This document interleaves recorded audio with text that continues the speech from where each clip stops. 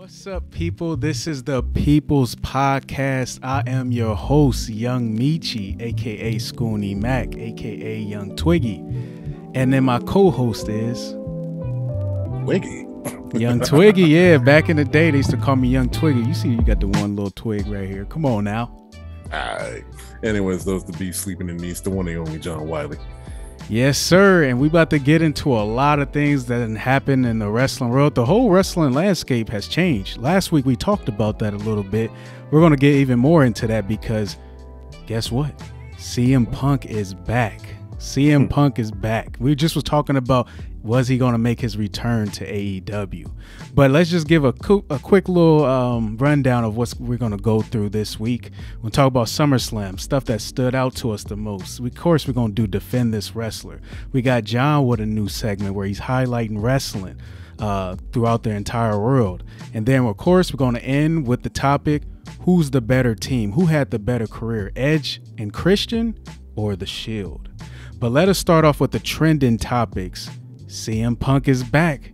Let me know your thoughts. What you what's your thoughts about CM Punk being back in AEW now? Well, AEW has a certified, you know, superstar that people want to see, other than Chris Jericho and um, uh, Cody Rhodes and them and stuff like that. So you know they got to they're get their rosters getting more built. And Adding a guy like that's a great idea. And then on top of that, um, I want to know what capacity they're they're hiring for. Because if he's an idea guy, I think this would be perfect. But if he's out there wrestling, I'm very curious of what, how he's going to perform. Because for all we know, he, he might not have missed a step, or if not, he might come back looking kind of sloppy. But I doubt that he'll let that happen. And um, I'm happy for him. Do I want to go see him wrestle personally? Not really, but I want to see him talk. Hopefully, they put him on uh, commentary because I remember every time they let him do commentary in Smack on Raw, it was fire. Mm-hmm. So who knows, man? But then again, though, their commentary team's pretty stacked as it is with Jim Ross, Excalibur, the goat, Mark Henry, if I'm not mistaken. The goat, Jim Ross. Now, I gotta, I gotta say this just to give you, just to give you a quick little, uh, what's to come. I already know there's a lot of CM Punk fans, and they're not gonna like what you just said about that commentary because they believe in CM Punk not only on the mic but they believe he's the best in the world, like he says he is the best in the world, like he said he is back in the day. Um, and they believe that inside the ring as well. So they like they're gonna be like commentary. Nah, we want to see CM Punk wrestle. And the funny thing is though, I did watch AEW yesterday, and that's probably like my first time really watching the episode. And that look, that's what CM Punk does. Him returning made me actually turn on AEW and be like, let me see what they're going, what they're doing right now. Um, so I know that CM Punk is supposed to wrestle at their upcoming pay per view, and he's wrestling Darby Allin. Now I don't know too much about Darby Allin, but I know that he's one of their, you know, AEW stars. Um, so that's supposed to be a big match that's about to come up, and that's going to be CM Punk's first match returning. The way I feel about Darby Allin is like man, it's it's like you know how uh, his wrestling style is kind of like uh, the ragdoll style. He'll just do stuff that'd be like, man, you're gonna hurt yourself doing this kind of stuff. But mm-hmm. that's just how he is. You know, I'm feeling like every time I watch him, he's like the guy that like he doesn't end up on Botchamania because it's all intentional. And on top of that, he's like he has like you know defense and endurance through the roof if we're giving him stats. Mm-hmm. And honestly, he has a unique wrestling style, man. I think he might like it when you see him come out there and do what he has to do. I seen him wrestle on uh, this past AEW show, and um, I seen his finisher. Like he kind of just jumps in the air and just falls on him. That's his. Uh, that's his finisher.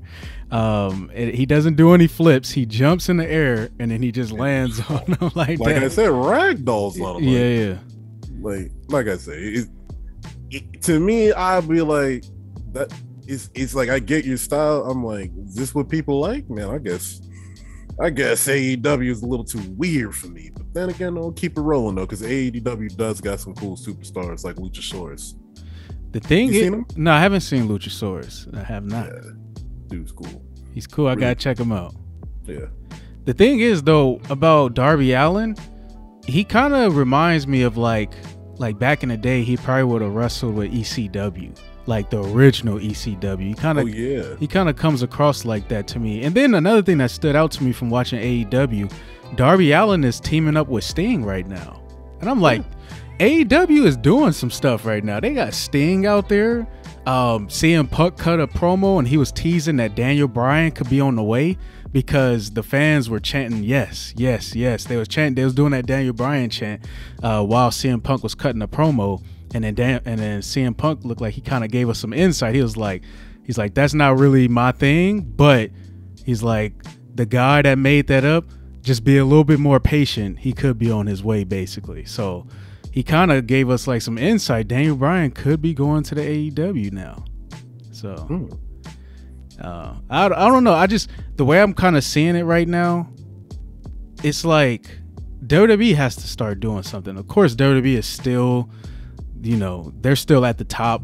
They they come on now, the business they have built the business for so long, but I'm like, give it a few more years. If the WWE keeps going downhill with their writing, and the most important thing about the writing is they're losing superstars because of their writing.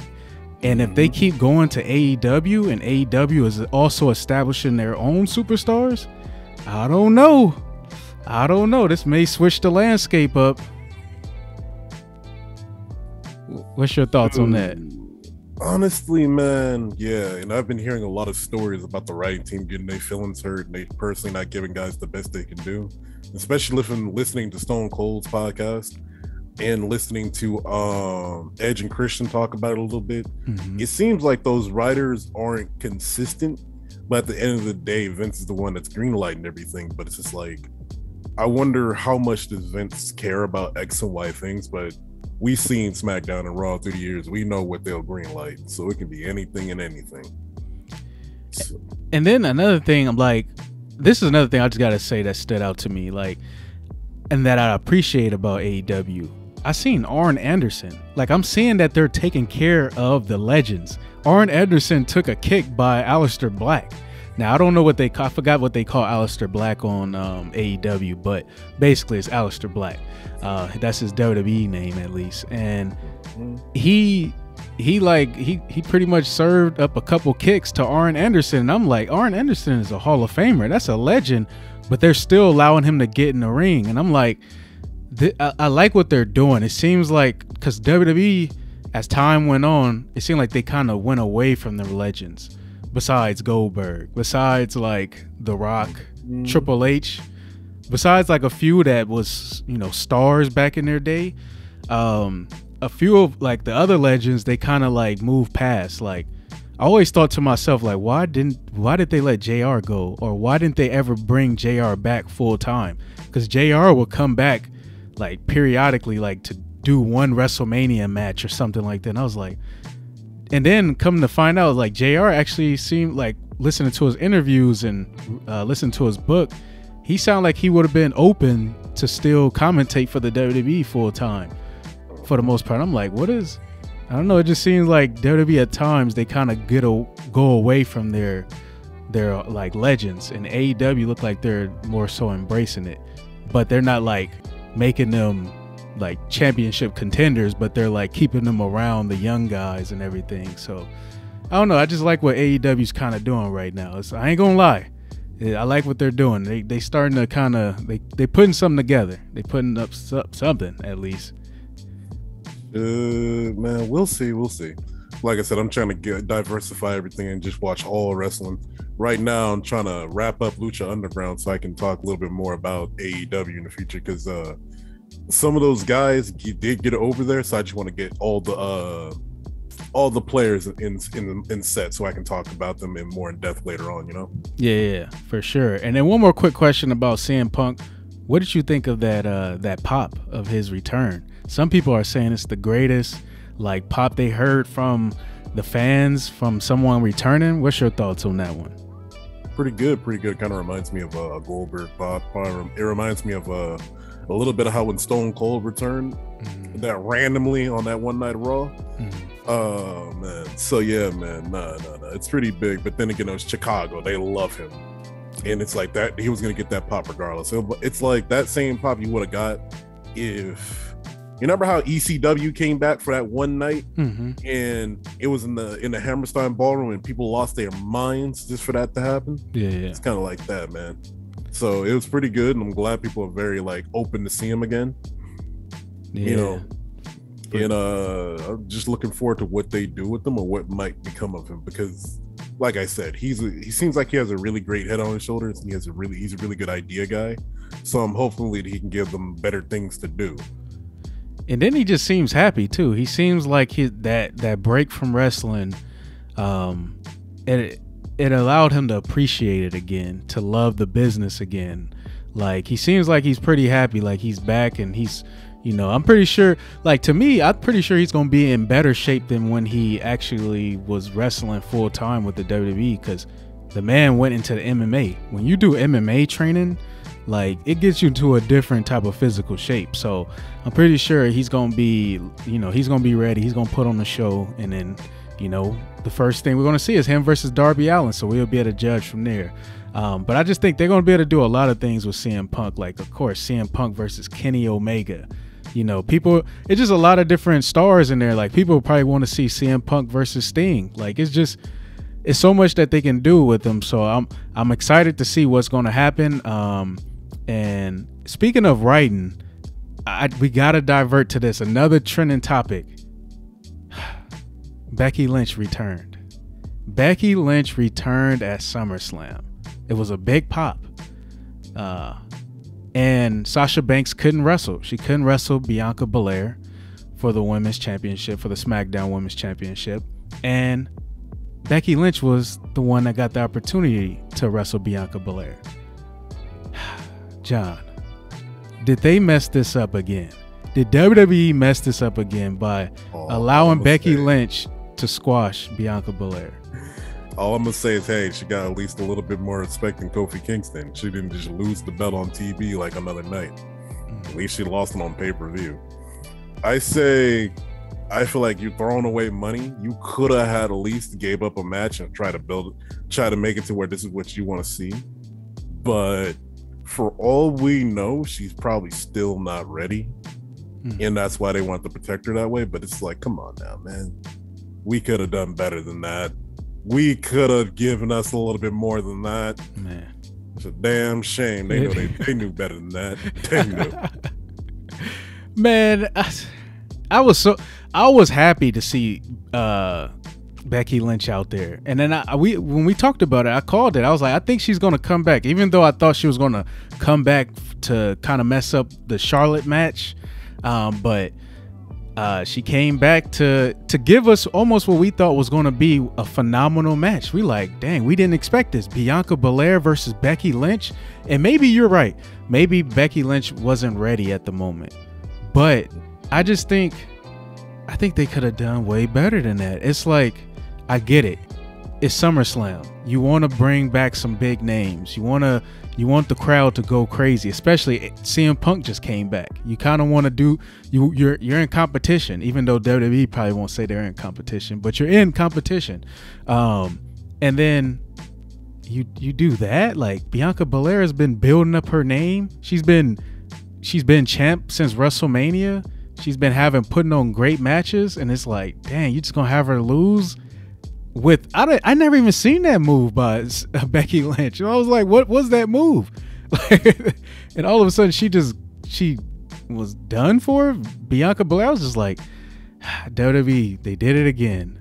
They they spoiled a great moment, and I'm like, I'm a WWE fan, but I gotta call it what it is. This is the People's Podcast. They spoiled a great moment, because it it just don't make sense. It doesn't make sense. This is how I felt about Kofi Kingston losing in that manner. You could have done way more with less, and this is what you do. Mm, mm, mm. But see, at least what at least Kofi Kingston got got beat down by Brock Lesnar. Like, I mean, it's a little bit more believable. Like if we if we just look at how they both look and what Yeah. Brock Lesnar is known for. Not only that, Brock Lesnar has is known for being a beast in the WWE. And then he also became UFC heavyweight champion at one point in time. Like it's a lot more believable. It's like Yeah. but come on now, Becky Lynch. Becky Lynch is smaller than Bianca Belair. Like, it don't even make Hey, sense. what they to me what they did they just kind of completely just you know ah man it's like there's like a trope they do with a character just to like you know let everybody know that this person is uh, like it's a problem they kind of did this with this character with, with with bianca belair they just steamrolled her for the for the sake of like letting everybody know that hey this person is a problem be ready yeah, I'm, I'm just like, I mean, I, I'm a fan of Becky Lynch too. That's the man. Like, I'm glad she back. But I'm like, dang, like, I just, we, I don't know. I think they could have did something else. Like, my only caveat is what you said is like, maybe Becky Lynch just isn't ready. But if she's not ready, then have her tease the match between her and Bianca Belair. Like, have her come out and be like, you know, and just kind of like they have a stare down. She points at the championship, and then she, you know, she leaves or something like that. Like, and then just tease like we know what's gonna come. Like it's like, but having her beat Bianca Belair like that, it's like, uh, I don't get it. It's tragedy. It's tragic. it's like, well, I don't get it. I don't get it. But uh, let us move on to just continue to talk about SummerSlam, the things that stood out to you uh, the most. And I could start it off. Man, besides the Bianca Belair, the squash, I gotta give props. Dream match, we were talking about this last week. Edge versus Seth freaking Rollins. Man, that match, straight five stars to me. That match was fire. Just like the storytelling, the just the like not knowing who was going to win. It's like not too. It's like you don't get that too many times in the WWE nowadays. Most of the time, we kind of know who's going to win. And that mm-hmm. match, I was like, dang, I didn't know who was actually going to win. I picked Edge, but at the same time, I didn't. I wouldn't have been surprised if Seth Rollins won that, especially just the the back and forth, the the close calls at pinfall. Just it just was back and forth the whole entire the whole entire time. And then not only that, Seth Rollins kind of reminds me of a young Edge, just like how their careers is set up. Um, but tell me what your thoughts on that match. I think the match was great, but then this is what happens when you got two guys that really know what they're doing in the ring to go out to go at it with each other. Um, if I'm not mistaken, Tyler Black, aka Seth Rollins, is like he was like one of those indie dudes that was killing it. And his like and i can see all that experience coming back in and having him have great matches with a guy like edge who the similar manner you know went through the indies and then got really good in wwe in development and stuff like that. And yeah. Um only thing i really have to say about this match hey i gotta watch it again.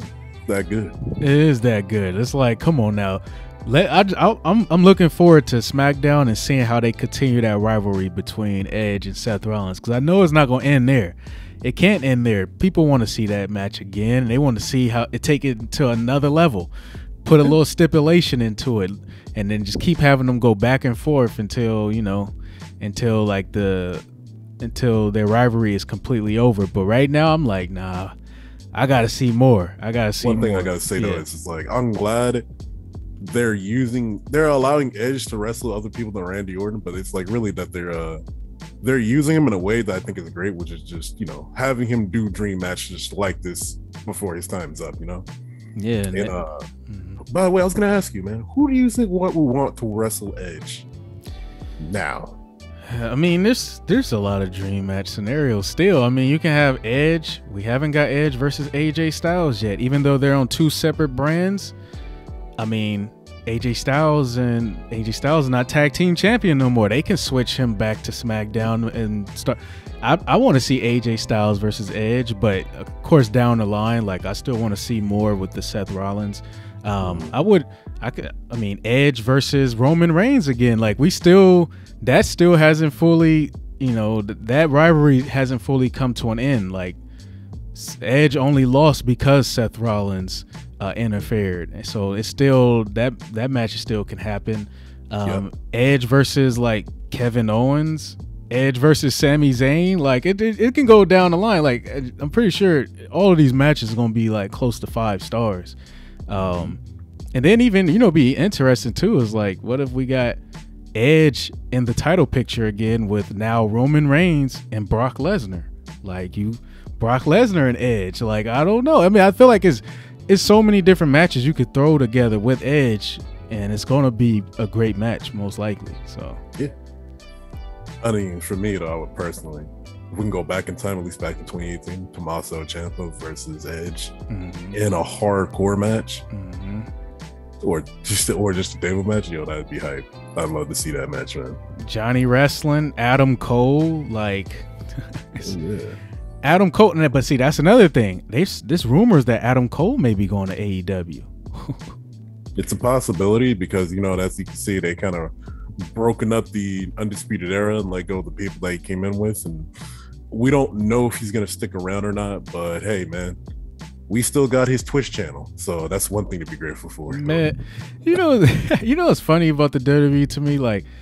Man, we we didn't get the undisputed era on the main roster, and before they already broke up the group. I feel like WWE breaks up the groups way too soon now. I feel like they're they kind of go off of like they're trying to get that instant star now, um, more so than back in the past. Like like with the Nation of Domination, they took time to build up The Rock. Mm-hmm. With even DX, they took time to build up Triple H. Like I feel like like even with um the Hurt business, they broke up the Hurt business so soon. It's like I get Bobby Lashley is the star of that group, but it's like now we kind of just we lose Shelton Benjamin and Cedric Alexander again to just be nothing. they just out there just doing nothing again, or not even on the show. And what hurts me is Cedric Alexander is a very good wrestler too, similar to Shelton Benjamin. And you know what's crazy? I remember uh, when they broke up the Hurt business. Dang, there every wrestling legend and superstar was like, "Who didn't done that? That was a terrible idea." And I to agree, but like you said, they're obviously searching for gold, man, and they're just getting copper every time. Exactly. It's like the only one that the WWE hasn't like done that with as a recent, I would say is the Shield. The Shield they actually allowed them to build up and then they all became stars. So like that I would say they did right by the Shield, but these recent groups, they they're not giving them enough time to to build up like Undisputed Era. I wanted to see them on the main roster. Um, mm-hmm. but now we may not even get to see Adam Cole in the WWE. If Adam Cole because we talked about this in past podcasts. Adam Cole to us is a star. If he goes to AEW, I'm telling you that that landscape keeps on shifting a little bit more. it's like now people talking about dream matches with Adam Cole and CM Punk. It's like Adam Cole and Kenny Omega. It's just so many different people. So it's just like I don't know. WWE got to start. They got to start uh thinking about how they build up these young stars because I haven't seen uh, recently. I checked out this new documentary that's on the WWE Network, and it talked about how uh, Rhea Ripley, how she felt like she was, you know, great on NXT. Like they understood her character. She felt like she was at her best. Then she went up to the main roster, and I was like, dang, they actually allowing them to talk like this? She basically said, she was like, then she felt like she lost herself on the main roster. And I'm like, why does WWE keep doing this with the main roster? like I'm like I don't understand what's going on. I have a theory, right? That the guys that are watch that are creating and making storylines for the WWE main roster mm-hmm. do not watch um NXT at all, or if not, don't are they're just oblivious to it, right? Mm-hmm. So when they get these guys, like they think they get like a brief like summary of what they are and who what they did, and then just kind of throw them out there and see what happens. And they're going off of crowd reactions, mm-hmm. and just to see how things go. It's real, yeah. Mm-hmm. It's really disappointing because I seen on this past Monday Night Raw, I seen Ricochet get thrown out there just to get you know squashed. I think, but I forgot the dude name. He's he's not the champion of NXT anymore, but he was. It's like Cross or something like that.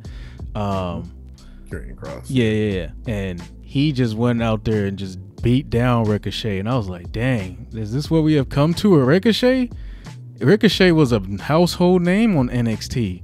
And he was someone that I thought could be a star on the main roster. And now he's just getting thrown out there to get squashed to build up other NXT superstars. I'm like, hey, remember a few years ago they did this to him with Brock Lesnar? They fed him to Brock. I'm like, what is they doing? Like, I don't want to go too much into that, but uh, because we still got to talk about John Cena and Roman Reigns. What's your thoughts on that match at SummerSlam? My favorite part about that match was it didn't happen on screen, but it happened on Twitter. Mm.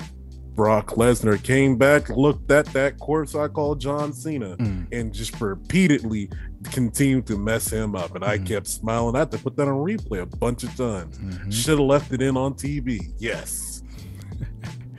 John Cena, man, we need a we need we need new we need something new, man. I understand John Cena's he's about to take a break again. He's gonna do his movies and stuff. But John, I know this ain't the end. I know this ain't the last time we seeing you. When you come back to the WWE, don't come back with them same jeans shorts, them same pink, green, orange t-shirts. Switch it up, John. Switch it up. Can we get a heel version of John Cena for the first time in how long have John Cena's been wrestling? It's been at least 20, maybe, I don't even know, it's been like 15 years. This Man, I wouldn't even mind if he came out as that Suicide Squad character, just came out in that outfit. I'd be like, all right, cool, it's something different. But John, he has to do something, but I understand why because people, oh, a lot of fans who love that character of John Cena and he loves to be loved. But I'm like, bro, it's time to switch it up, man. These people, this audience is gonna grow up, and you gotta go move on with the times as well, man. It's it's about that time. The thing is, though, I feel like if he turned heel, it will make us appreciate when he eventually becomes babyface again. We'd be like, it's like Roman Reigns. Ro- yeah. It's like when people was like sick and tired of like Vince and the writers trying to make us cheer Roman Reigns. It's like they're already born Roman. Just turn him heel. Why did y'all take so long? Now we're like, this is the best Roman Reigns we have ever seen. It's like when he's heel. And then eventually, if you do turn him back babyface, I'm pretty sure like we we appreciate it a lot more because we'd be like, dang, like y'all like we actually see how great Roman Reigns is now. Instead of y'all trying to like force us to cheer for mm-hmm. him.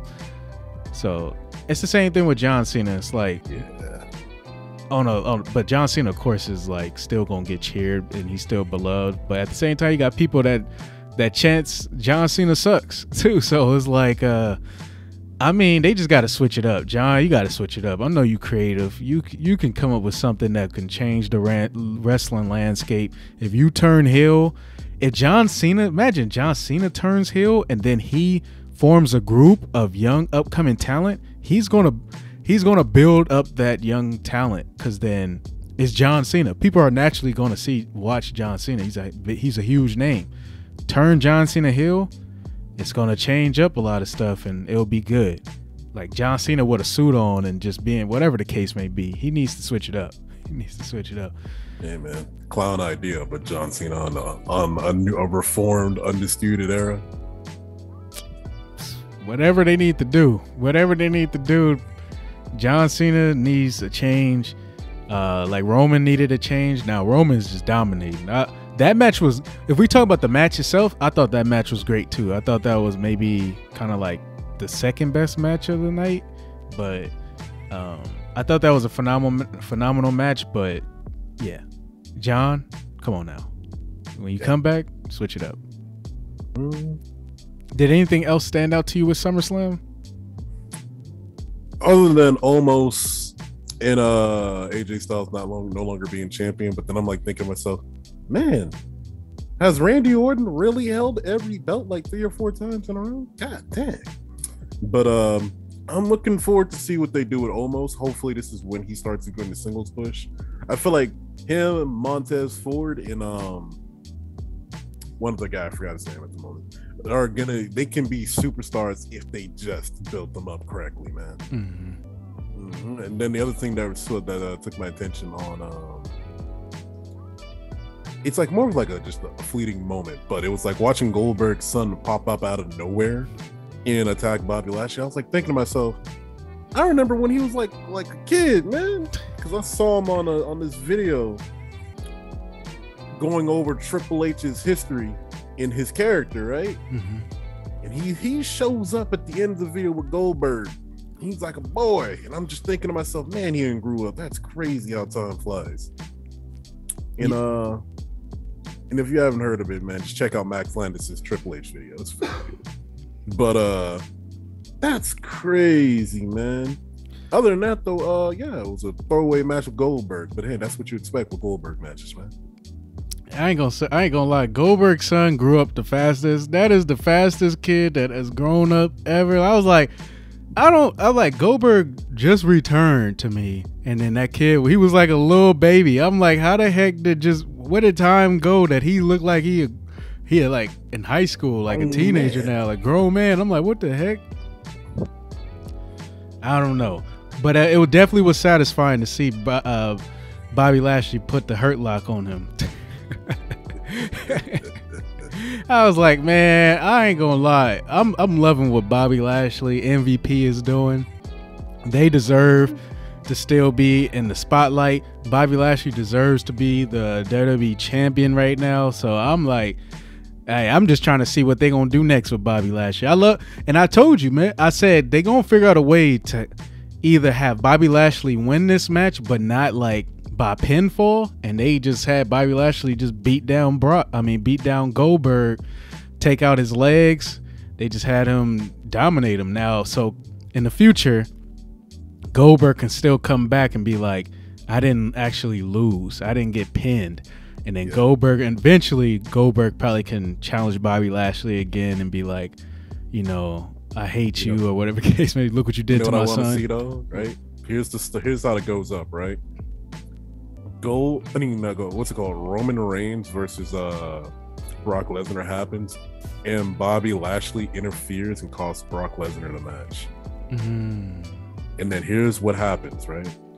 So Brock gets into a rivalry with Bobby, and Goldberg appears to spear uh Bobby Lashley. Mm. That's- and then you could possibly have a triple threat match between the Bobby Lashley, Goldberg, and Brock Lesnar. And you know what's actually interesting about that? That's a fire idea, but that also helps out Goldberg. Because let's say, I think Goldberg's probably best fit for a triple threat match or something where it's not a one on one, where he has to do a lot of moves or try to figure it out because we know what, what's going to happen with that. It's going to be a short match. But if you now put Bobby and Brock in there, Bobby and Brock can be like, they can keep the pace of the match. And Goldberg here and there can have a big spot where he spears somebody through the barricade or he does something big, but then for the rest of the match, he's kind of like he gets, you know, he gets suplexed and then or gets thrown out of the ring, and he kind of just double survives teamed or something. time. Yeah, Yeah, because now, but then when it's just one on one, it seemed like Goldberg is like, it, at at this age right now, it doesn't seem like he can carry a one on one match. I'm not sure if he was even back in the day he was really carrying a one on one match. So I'm like, right now for sure a triple threat match with, and then we know Bobby and Brock can carry a one on one match. That actually Yeah. may work even way better for just not only uh like star power but also for in ring like for even Yeah. Goldberg. yeah. See, WWE got me, man. Yeah, so they need to put that together. I wouldn't be surprised though. That would be pretty dope. Like a Goldberg, Bobby, and, and Brock. That would be pretty dope. I'll be interested in seeing what they may do that for WrestleMania. You may have just called their WrestleMania match. You may have just did it. We'll find out. We may. Oh, and, and then we still got to see what what happens with Roman as time Yeah. goes on. But um, yeah, that that may be pretty dope though. Um, the only thing I'm trying to think of anything else that stood out to me with SummerSlam. Um, was that the Usos they had a good match with Rey Mysterio and Dominik Mysterio. That was a pretty good match. The Usos pulled it out. Um, other than that, I think I mean Charlotte Flair is like the 12th time 12 time champion already. So I'm like she's back champion. I didn't think that was going to happen. Yeah. But then again, though, we all knew that uh, Super Nikki wasn't going to last long. They they why did they even have her win the money in the bank just to I would have loved for this to happen and Hurricane been in her corner the entire time. man. Instead, we just another missed opportunity. God dang it. They- we know Hurricane will show up. We know he will. Man, they could have had a ba I hate when they. I don't like when WWE gets rid of the Money in the Bank contract that quick. Like, I I like when the wrestler keeps it for a long time and then cashes it when we least suspect it, and then like like the best cash in probably to me was Seth Rollins at WrestleMania when he cashed in on Roman and Brock, and At he WrestleMania? yeah at WrestleMania. And I was at that WrestleMania actually. That was a, that was in uh, the new 49ers stadium. So and that was just it was amazing because Seth Rollins was the money and he had the contract for so long, and that we didn't expect him to cash it in at WrestleMania, and then he did. He cashed it in and made it a triple threat match, and he won the belt. It's like they had uh, what's her name? Is it Nikki? Is it Nikki? She they they had her win, and then she wins the belt, and then now she loses it that quick, and it's like, well, that You know that kind of reminds me of? It kind of reminds me of uh, when uh, when Stone Cold didn't quite want to lose to Triple H, and he gave it to Mick Foley just so he can get the belt off of Mick. Oh yeah, yeah. And he was champion for a short amount of time too. Yeah. WWE has a way of doing this now. I'm starting to see it's kind of coming coming full circle. But let us move on to your uh, segment where you highlight past wrestling. So you can go ahead and introduce that to the people. All right. So this segment is well, pretty much I'm gonna go back in time and just you know talk about some past wrestling matches or past wrestlers that I think are deemed like they need the spotlight on it due to the fact you know they, it's it's because we don't want things to get lost to the annals of time. That's just how it is. So we're gonna pick up something that's a little bit more recent, and this wrestler's name is Moose. He's a very big man, very strong man. And on top of that, I think he would have had a bright future, but unfortunately, you know, he has some issues with this past that you know he has to overcome. But in this path for overcoming his past, he is one of TNA's bright spots and made me watch TNA in almost over 10 years. And on top of that, TNA is not even on like a regular channel, they're on a weird network, but that's besides the point. It- Moose is the unofficial TV champion of TNA. And what he does is he goes around with a belt that he's not really the champion for, and just and getting challenging and, and accepting challenges from people across the uh the roster. And he puts on very good matches back to back to back. And it's like, oh my god, they need to make this man champion, but it's like understandable that they why they don't do it. But it's like this is pretty much like you ha- if you want to check out TNA, you want to see a wrestler, a big man wrestler put on a good match. TNA is the place right here with Moose. And then another thing I want to touch on since we're still on TNA is do you remember the time Sting was the Joker? Oh man, I, I don't actually. I actually don't. Yeah, so a hot minute Sting was going through a Joker phase because you know Mark Hamill's not Mark Hamill, excuse me, the the Dark Knight movie dropped, and um Heath Ledger's Joker was popular, and Sting kind of had a transformation into that, and bro, him and Kurt Angle have some dope matches that you gotta check out. And on TNA. And this is like I was like, this is like to me is like what I've been missing out on on TNA because even though only WWE was popping off, TNA were having classics in the background and they were having Kurt Angle, Sting, and AJ Styles go at it, man. And if you want to see like a good run of like a crazy character, you want to watch Sting, I mean Joker Sting, the crazy icon, go up against guys like Mr. Kennedy, Kurt Angle, and um I think not Hulk Hogan. He went up against one other guy that was really dope. But back in that era, man, you gotta check it out, man. And he was doing a lot of crazy stuff. Like he was just showing up on people's like, you know, trailers. He was just showing up in random spots and just giving people the business, man. This was a cool run to watch. Crazy part is he was 50 around this time as well, man. And he's still back, and he back again on AEW now. I gotta check it out. I gotta learn more about that Sting on TNA. Yeah, Joker Sting. And um one more match though you probably will need to check out because this is gonna involve somebody else later on.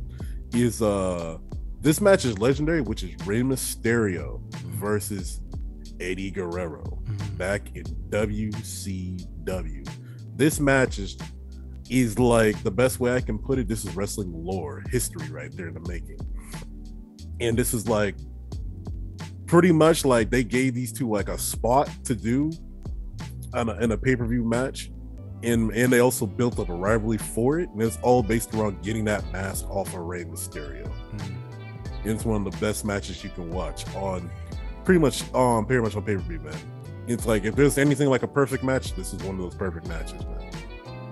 Uh, for sure, we'll check it out. I know Ed, I know Eddie Guerrero and Rey Mysterio. They got a lot of classic match, um, classic matches, and even in WCW. So that's another one I gotta, I gotta rewind and uh, check it out. And I think what's crazy about this match, this was like back in the 90s where people weren't too hip on luchadors in that style of wrestling, but the fans ate that up, man. And I don't want to spoil this match, but this is one of those matches you gotta see. Uh, if you have, man, on if you have the Peachtree Network, or if not, if you can find it on YouTube, go for it, man. It's one of those must see matches. Okay, cool. Yeah, yeah, for sure. Um, before we continue on, we just got to take one quick break and then when we come back from the break, we're still, um, I'm pretty sure you still got a couple more highlights you want to go through, right? No, I think that'll wrap it up. That'll wrap it up. Okay, then when we come back from the break, we're going to do defend this wrestler, and then we're going to have the better team debate the Shield or Edge and Christian. But let us take a quick break. And we're back from the break, and we're gonna go to one of you guys's or all of you guys's favorite segment of the show. I know y'all gonna love this segment. Well, some people gonna love it, some people gonna hate it. It is what it is, but this is defend this wrestler. And Jon has a new person that I have to defend. So go ahead. I'm gonna pass the reins on to Jon. Well, I'm not gonna be as visceral as I was last week because I actually do like this wrestler, aka Chavo Guerrero. Oh. But I need you to defend this wrestler, Meech. Cause man, Chavo, I can't I can't ever justify having this man around. Ever. And then on top of that, when he is around, all he does is bring up Eddie. We love Eddie. We understand that was your world, but man, he brings up he brings him up and rides that kind of boat the entire time. And then when he's in the ring, it ain't nothing special from Lucha Underground to TNA to back when he was on w, WWE, it was just nothing about like, why do we give you a paycheck? Why? And I need you to justify this man. I need you to justify giving putting this man on the roster after, after WCW. You have to. I think isn't Chavo Guerrero on AEW right now? I think he just returned or something like that. I think he's on AEW, but um, yeah, and Vicky. And Vicky. Oh, and Vicky. Yeah, you didn't know. I didn't know Vicky was there. I knew Chavo. I, I couldn't. I can't remember what video I was watching, but I knew it was like a big return or semi big return, depending on how you look at it. that Chavo Guerrero returned to some wrestling promotion. I think it was AEW, and uh, but um, and of course now it is. It's confirming that it is AEW. But that's what I was thinking when I was looking. I was like, what? Chavo's back, but. Ah, okay, here we go. Chavo Guerrero. So to me, I think the interesting thing for me, Chavo Guerrero had he had a good point in his career where he was like, and I'm talking about his solo career because if we talk about his tag team career, of course it was great. Him and Eddie Guerrero, like coming together, being SmackDown tag champions for a good amount of time um, throughout the 2000s, just giving us great matches, giving us great content, great storylines. Los Guerreros, to me, at one point in time, they were like my favorite tag team. I'm not gonna lie, um, but I, I I do have to say this: Eddie Guerrero has always been the one that stood out to me. It's kind of like with Jeff Hardy and Matt Hardy. Jeff Hardy has always been the guy that stood out to me and the rest of the world. Edge and Christian. Edge has always been the guy that stood out in that group.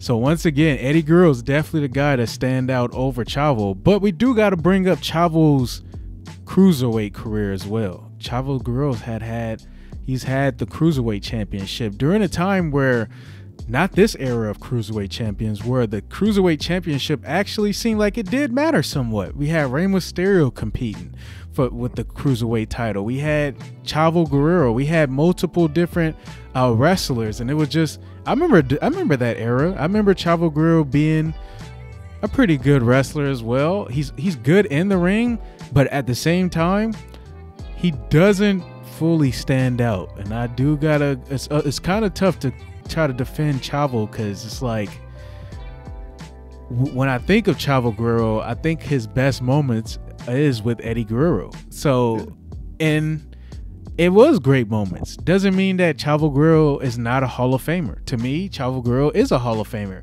But I just he hasn't had that solo uh, moment yet. He hasn't had that solo career yet where he just stands out on his own. Like Christian he has had that solo run. Um, Matt Hardy's even had, you know, you know that solo run to an extent.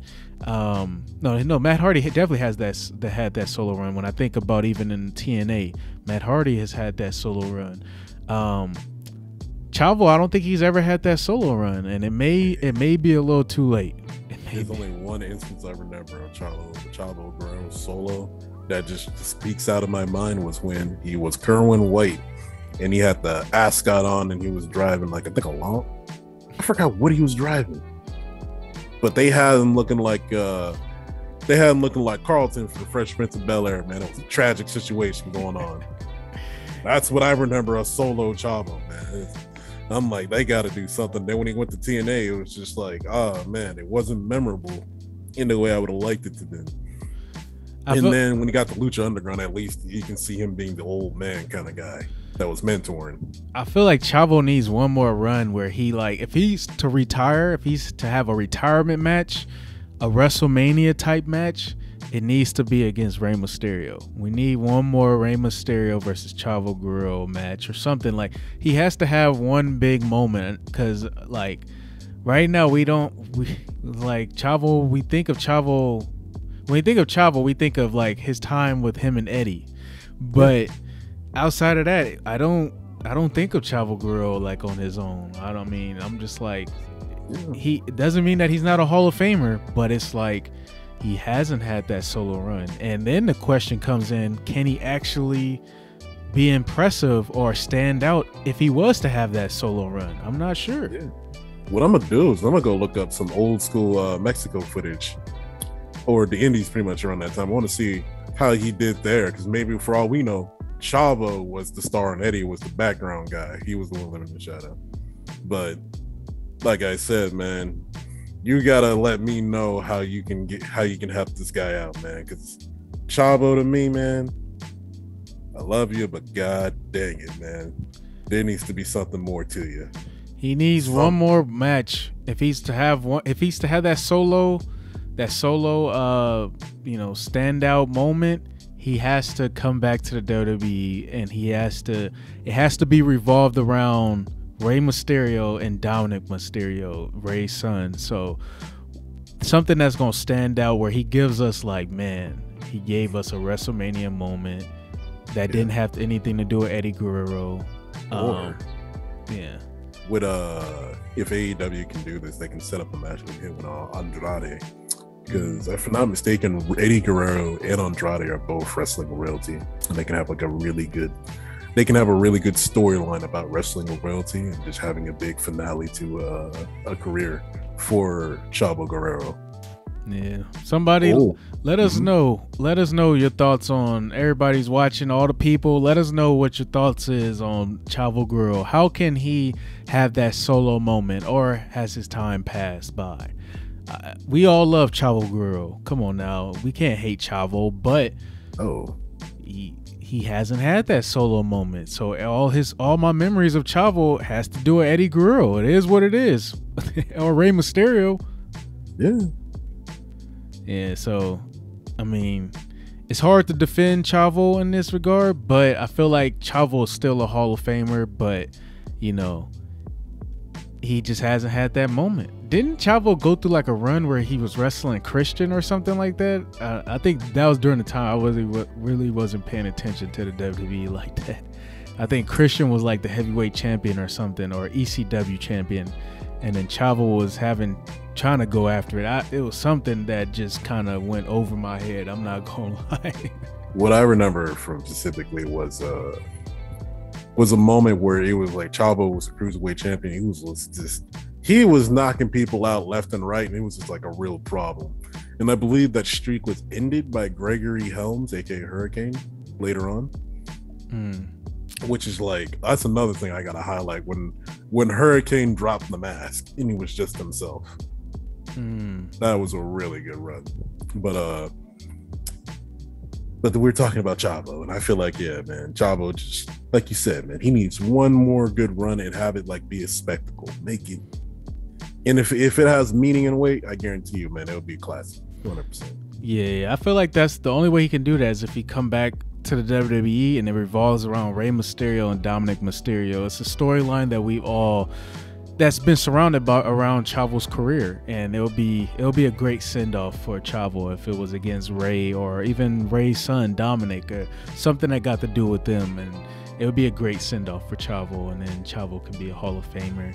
Uh, so shout out to Chavo Guerrero. You are on Defend This Wrestler this week, but we still pay you much respect. You're still a legend. You're still a Hall of Famer. Um, but also the people that's watching us, let us know what Chavo must do to have that uh, that spectacular, you know, solo moment, or has his time passed him by? Oh yeah. By the way, you know who's next week's wrestler, right? Who? Goldberg.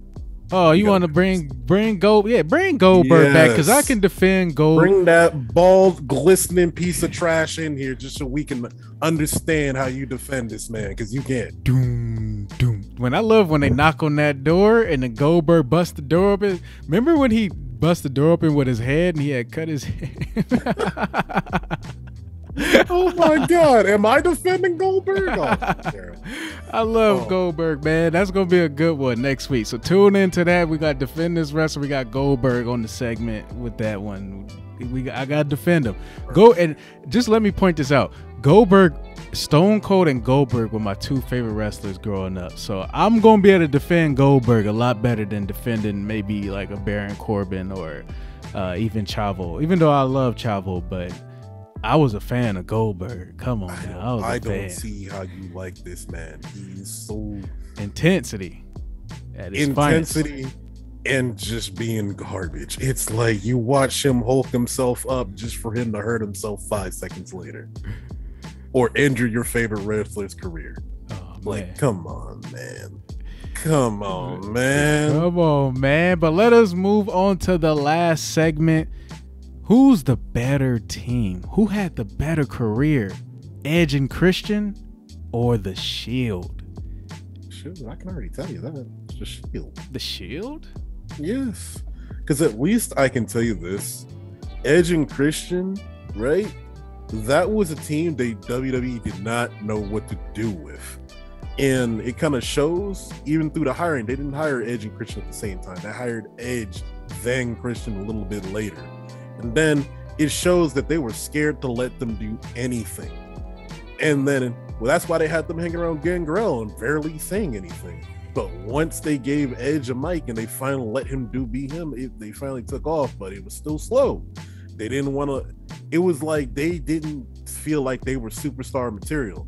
And it's crazy how, if you look at Edge as he split apart from Christian, they it took them dang near like eight years. He had title matches against Brock Lesnar and Kurt Angle and stuff like that until finally they let him shine with John. But it was like, bro, they don't they didn't feel like neither of these dudes could succeed. So that's why their careers when they're a tag team didn't look so bright. Meanwhile, with the Shield, right? They were tag team champions. They were obviously guys that can they were making a point that when you see these dudes, they were a problem. You know what's crazy though? They have the same entrance for a hot second, coming through the crowd, then going into wrestling. Mm-hmm. That's hot. I like that. But um, but then you look at the Shield. These are three guys that they were willing to let them go out there and take a risk on, and that's why you see them have so many great moments. That's why I feel like when it comes to the Shield, they were very, very, very careful about what they did with them. At the same time, though, they built them up perfectly. Mm-hmm. And their from their rivalries to their breakup, every moment of it was something spectacular to watch. While if you look at Edge and Christian, they just didn't they gave them scraps and they had to work with it. And they kind of popped off in a lot of areas, man. They really did, especially with the tag team matches at WrestleMania, especially with their their climactic end on I think on Raw. No, I think it mm-hmm. was it was yeah, they were on Raw at the time. And then and and then seeing how they went in two different paths was cool because you know Christian had a better career in TNA than he did in WWE. And if you look at how, and if you look at how they uh, they treated the the Shield, all of them went to go do great things and still are doing great things. You know what I'm saying? Yeah. yeah. And that's why I say like the Shield is a better crew because the WWE set them up to be better as a tag team. Let me let me get in here with this. All I gotta say is this right here. I am an Attitude Era fan, and let me just I, I got a I got a surprise for you. This all I gotta do is play this song right here, and this gives you my answer right here. Come on now, let me play this. Can you hear that? Can you hear that? No, That's I all. Oh, you can't hear that? No. Ah, you can't hear the theme song? I'm playing the theme song of The Brood. All I gotta tell you is Edge and Christian. Come on now, Jon. That's all I got. That's all I got. It's Edge and Christian. I can't believe you can't even hear that. But it don't matter. You will see it later on. At the end of the day, it's Edge and Christian. Just the theme song alone is already over the shield. Come on now. The shield going through the crowd. The brood was coming out of fire. Come on now. The the, the lights turned down red. And then Edge goes on to have the solo career he has. Christian is now, what is he, the Impact champion on AEW? And then Christian also had a solo career, unlike um, Chavo Guerrero. Sorry, Chavo, I love you, Chavo. But at the end of the day, Edge and Christian are the ones. They come on, they took tag team wrestling on ladder matches and took it to a whole nother level. The rivalries with the Dudley Boys, Matt Hardy and Jeff Hardy, giving us classic matches time and time again. The Shield, as a group, have they given us classic matches like that? No, they have not. Edge and Christian are bona fide Hall of Famers. As a matter of fact, I would love to see them to do it again as tag team at their age right now. Even though we don't probably won't be able to see it because they're on two separate promotions. But Edge and Christian all day, baby. Come on now. I know people rocking with Edge and Christian. All I gotta do is play that Brood song one more time. This man. Leave me in the dark over here with no audio. God Oh damn. man, I thought you was gonna be able to hear that, but it is what it is. Matter of fact, you know what? I'm gonna I'm gonna I'm gonna give you some justice right here. I'm gonna I'm gonna play it like this for you. I'm gonna play it Man, I like got this. YouTube right here, man. I'm gonna play it like this. You can hear it like that now. Come on now. Come on. wait till that beat drop. Wait, wait. You gotta wait till the beat drop. Come on now, Jon. You ain't ready. You is not ready. Come on now, Edge and Oh Christian. That theme song is just on a whole nother level. They end it right there. They win it right there just off the theme song alone. Come on now. I will say this. Because of Roman, the the Shield theme song is played out. It is Man. it is one of those things I wish was that was forgotten in time. God dang. But I'm going. But I do pay respect to the Shield. The Shield is amazing. I love Seth Rollins. I love Roman Reigns. I love Dean Ambrose. Dean needs to come back to the WWE. Um, but that being said, he's had a good run too at AEW. So, um, you know, I'm a fan of the Shield. But they just come on, Edge and Christian. Nah, they not. I'm not giving them that. You wow.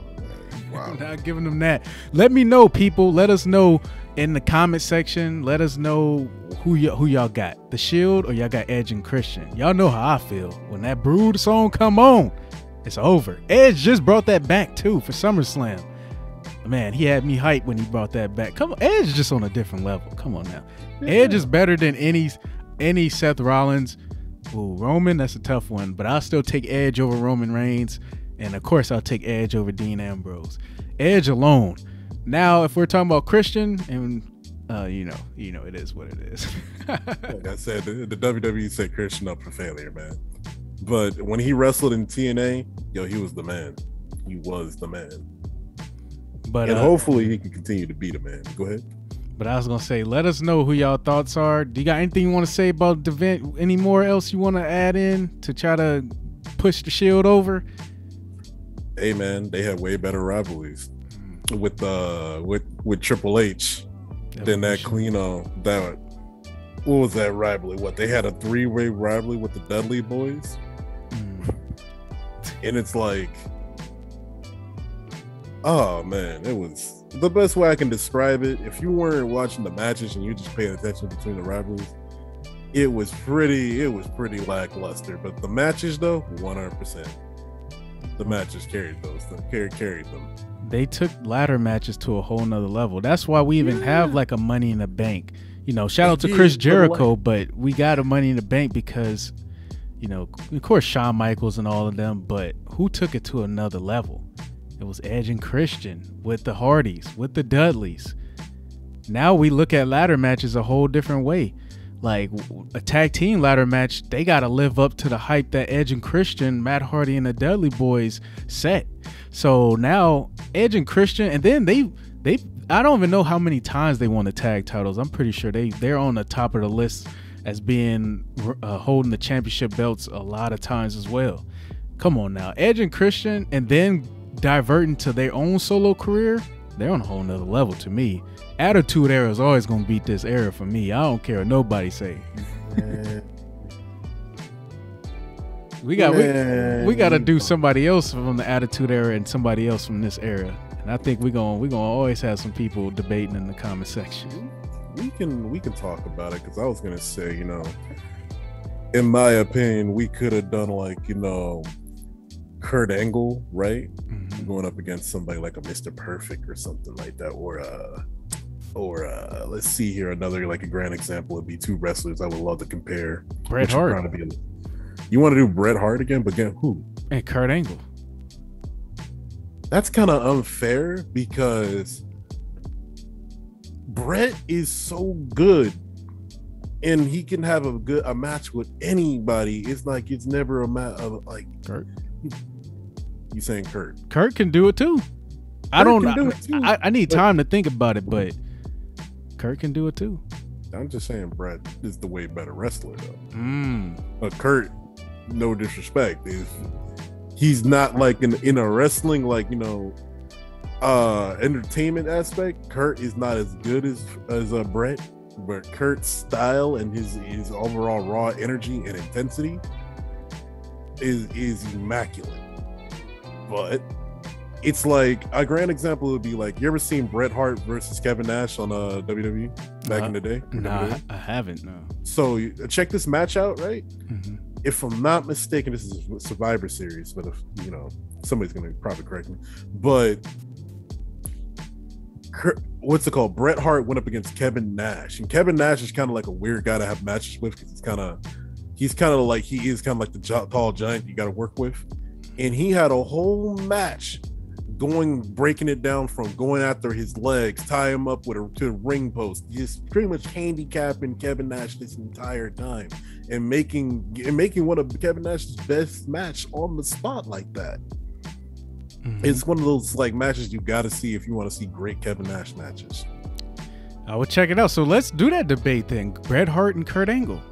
Yeah, Bret Hart and Kurt Angle for next week. But uh, you got any words you want to leave with the people before we get on out of here? So my ending words I have for the people is this, man. If you got a goal or if you got something you want to bring in reality, do not be afraid to go in there and chase it. Because I guarantee you somebody's gonna be willing and interested to help you out and make these dreams become reality. We live in an era where things like AEW can exist because people have, want to see a similar vision. And that vision can become can come true for you too, man. So if you got a dream or you got like something you want to make happen, go out there and go do it. Oh man, that's actually very inspirational. And that that that dream for me, y'all, I will be a wrestler. Now I don't know if I'm gonna make it as far as the WWE. I may just make it into AEW, and I wouldn't be mind that. But uh, I do got a dream to be a wrestler. Now, how that goes down, I'll tell. I'll keep y'all updated. My first training will be September 8th. September 8th, that'll be my first debut into training. Um, and you know, so we'll see how that goes, and I'm gonna keep you guys updated. But I'm a man that is into doing so many different stuff, so it's like I can't just say wrestling is the one dream. I, I man, come on now. We, I, you know, I do so much different stuff. So, but uh, if I'm gonna leave some words with the people, I'm gonna say that was great from Jon. Listen to that inspiration. Uh, go after what you're, you know, you're trying to pursue. Uh, don't let people, don't let the the lows or the downs knock you out, because they will come. There's gonna be times where you're gonna feel like you want to quit. There's gonna be times where you feel like you're unappreciated. There's gonna be times where you're gonna feel like, man, I'm chasing this dream, but it's not gonna actually, I'm not gonna make it. you got to actually push through those moments. Those moments of adversity is going to be the moments that help you actually become even stronger to be able to chase after those dreams or to reach those dreams. Actually, um, you gotta you gotta trust the process. You gotta you gotta also love the process as well. Most people nowadays they're like more instant gratification. They want it now. You gotta love the process. You gotta love going through the process to try to make it to whatever your dream is. And if you love that, if you love the grind, then I don't think anything's gonna be able to stop you. But uh this is what were you gonna say? Oh no, I don't, nothing really. The only thing I gotta say is like, man, trust the process. You saw how that turned out. Yeah, trust the process. Um uh, we're not talking about Ben Simmons though. We're not talking about. We may have to have defend this player with Ben Simmons. we may need to put Ben Simmons on here. We'd be like, "This is a wrestling pod." Nah, we gotta have Ben Simmons. You, you, you got to be on defend this, defend this player or something about to happen because we don't know what's going down. But uh, but it, I just want to point this out. This is the People's Podcast is presented by the Wrestling Republic. For any more wrestling news, you can go ahead and check out the Wrestling Republic. Uh, for rumors, debates, and opinions, make sure to check out WrestlingRepublic.com along with at Wrestling Republic on Instagram or all social media. Check out the YouTube channel and uh, keep checking out the People's Podcast with Meech and Jon. We're going to continue to give you some great content. Um, and also, eventually, we're gonna start doing interviews. So, any of y'all that wanna, I know it's a lot of wrestling fans that watches this right now. So, yeah, if y'all wanna try to come on and debate us, come on, bring it. We we ain't scared. We is not scared. So you can go ahead and bring it on. But um, this is the People's Podcast, and uh, you know we're gonna keep on bringing some great content to you guys.